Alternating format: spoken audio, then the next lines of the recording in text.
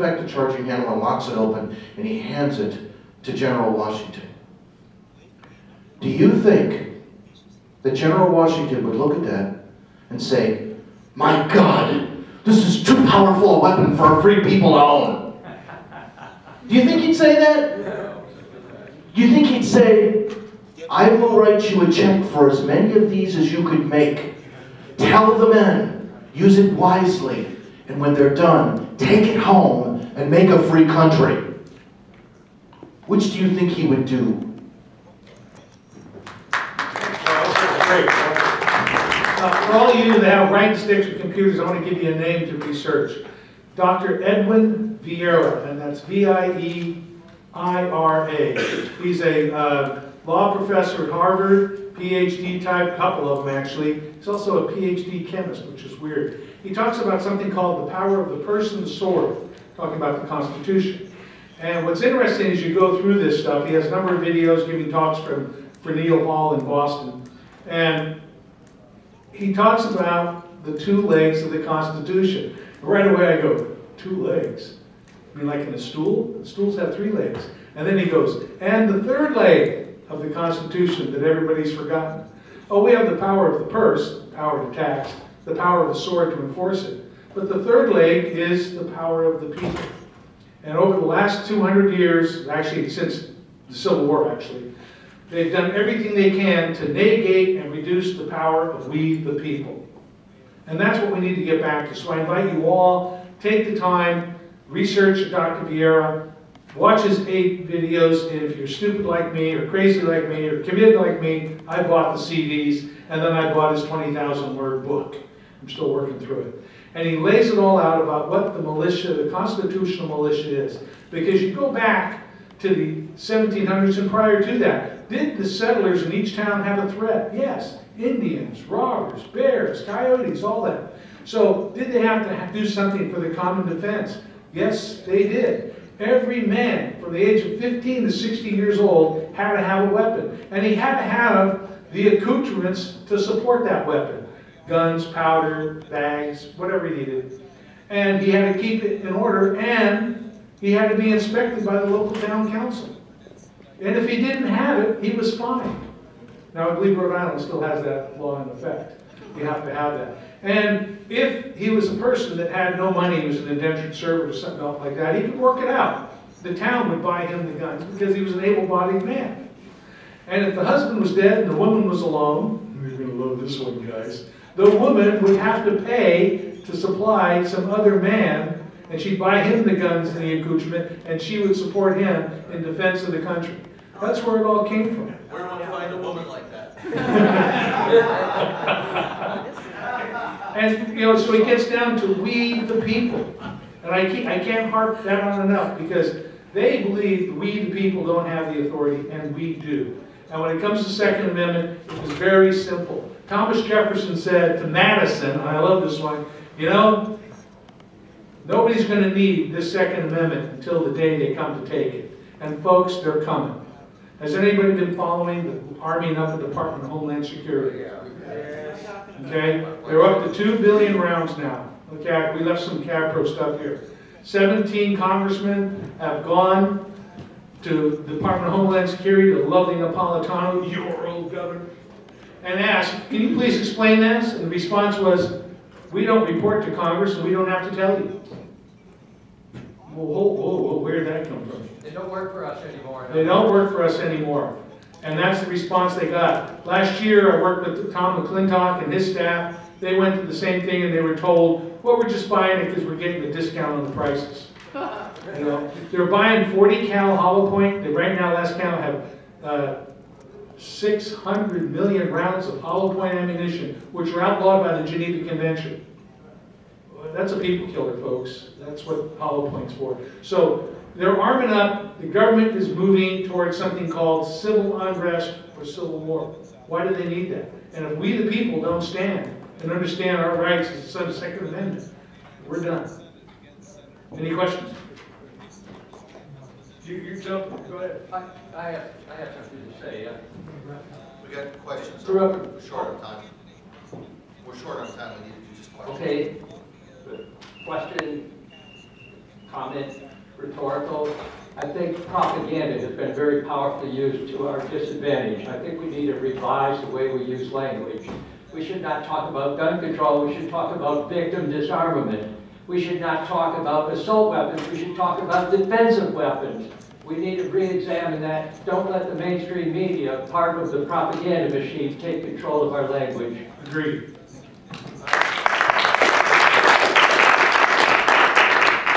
I'm very sorry, folks, that we are so short on time today. I apologize. If you please give a welcome round of, or a thank you round of applause to Jeff Davis.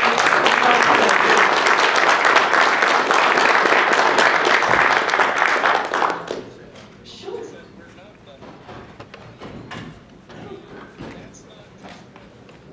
I want to agree very briefly with gentleman's statement. We have some bumper stickers up here that say, "Gun control made the Holocaust possible. No more Nazi gun laws." They're free. to- I mean, we sell them on the website. I've got a bunch free. For those of you who'd like to make a little kinder, gentler statement, we have one that says, "Gun control is not kosher," with a six-pointed star and two AR-15s flanking it. So if you like, please avail yourself of them and save me from having to drag them back to Tucson with me. And I will, uh, I will be glad to see some of them floating around in, in the People's Republic. These are the ones that got three inches cut off the barrel. Hey, you know, there's, it's a Jewish ritual.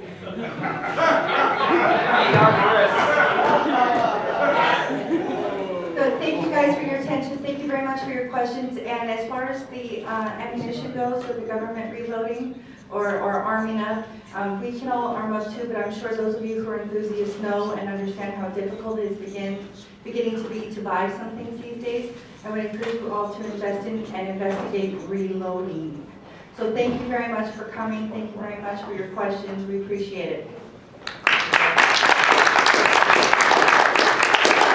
Have a bumper sticker and have a copy of our newsletter. Thank you, gentlemen. Thank you very much. Okay, let's wrap up here.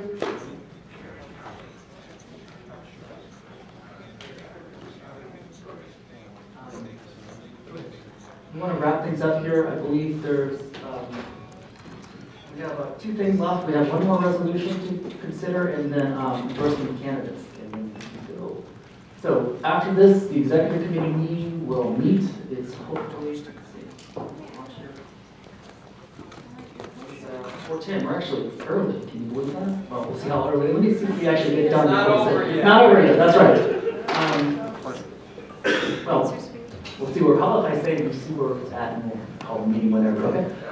Um, I believe the secretary pro tem had to go to the restroom, so, um, can you? Go Huh? No. No? Um, Mr. Garvey, could you? Sorry. Can we just five minutes before she uh, gets back? Um, Without objection from the body, can um, we allow Mr. Darby to, to fill in the secretary role temporarily until the other secretary pro tem comes back? Hearing no objection, okay. Uh, Mr. Morgan. I've been asked to bring forward a resolution to adopt Assemblyman Donnelly's AB 351. If I could read this, whereas the Libertarian Party of California reaffirms the rights of the First, Fourth, Fifth, Sixth, Eighth, and Fourteenth Amendments as inalienable to man and to denounce the unconstitutional powers currently held by the President of the United States of America under the National Defense Authorization Act, find the bill known as AB 351, the California Liberty Preservation Act, to be the first line of defense for the citizens of California. The Libertarian Party of California publicly supports the legislation introduced by Assemblyman Donnelly and the demand, and demands that the public servants within the legislative house recognize the rights of the people and require the federal government to adhere to the delegated powers expressly, expressly granted within the confines of the Constitution, providing no aid to the violation of the rights of the citizens of the state of California. There have been a number of these passed out. Hopefully you've seen that already. Um, Someone, Tim Donnelly was the gentleman who came to our um, rally on Friday. Okay, uh, the Motion's been made, is there a second? Stay second? Second. Uh, we have it, okay, discussion. Um, Mr. Martin, did you, you spoke to the, um, resolution, you just read the resolution, right? You want to speak to it real quick? Mr. Donnelly has addressed the, the legislation known as NDAA from Washington DC that gives the federal government rights over our expressed rights in the Constitution and over, overrules the rights, which I don't remember which ones they were and I gave it away, but, um, first, fourth, sixth, fifth, 14th and 10th. Um, So, anyway, this says, we believe in the Constitution, rather than whatever they're doing in Washington DC right now. And Mr. Donnelly has introduced legislation that would actually um, provide uh, penalties for any federal or state official enforcing those laws against citizens of California. I highly support this resolution.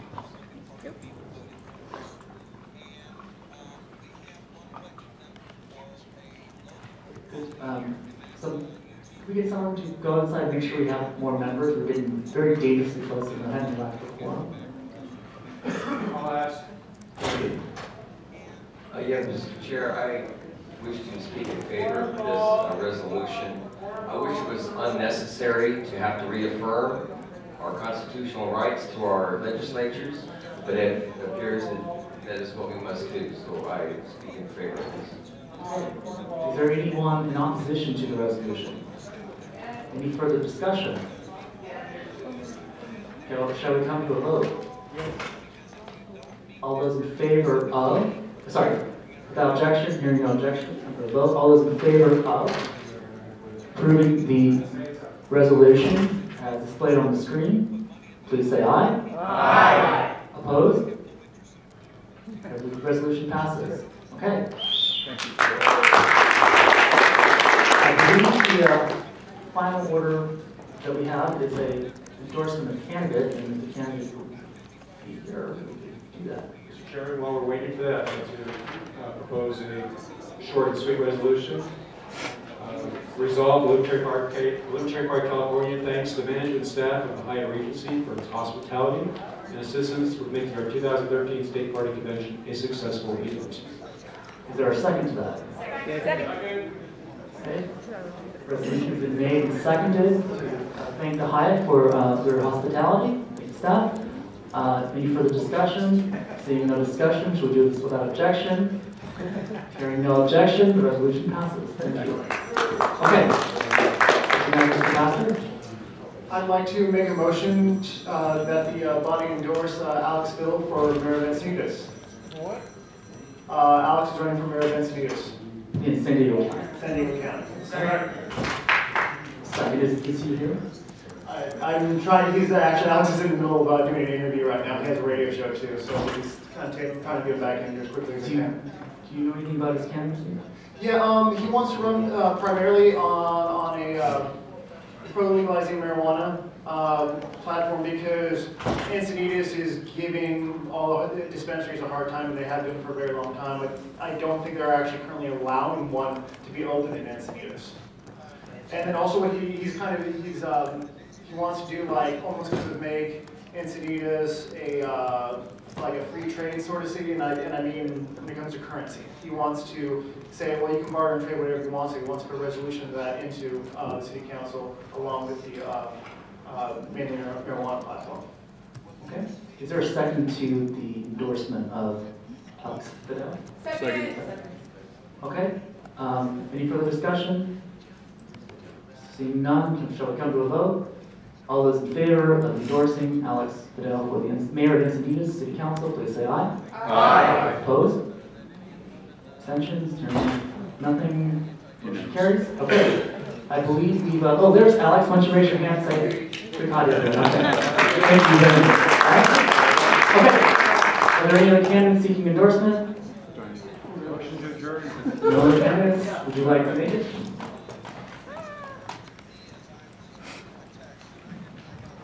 I move that that we adjourn, sine die.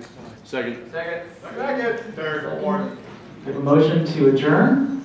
Uh, It's been made and seconded. All those in favor, please say aye. Aye. Opposed? Abstentions? Thank you, everyone. Party.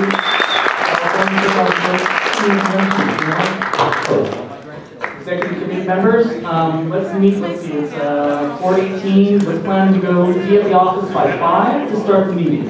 Um, yes, it's on seven seventy L Street, it is, um, basically down the street. You can just walk two blocks away from the Capitol.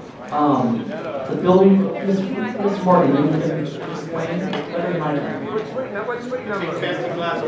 Nine fifty. If you walk down the street, we are at twelve, we're going to eight. Um, anybody wants to follow me, can go there, I'm going there now.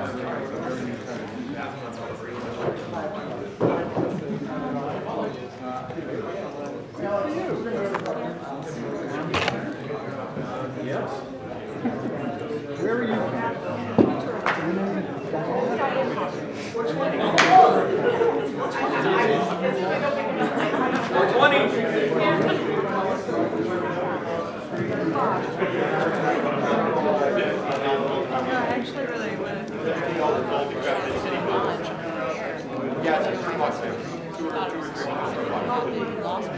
Actually had a cut.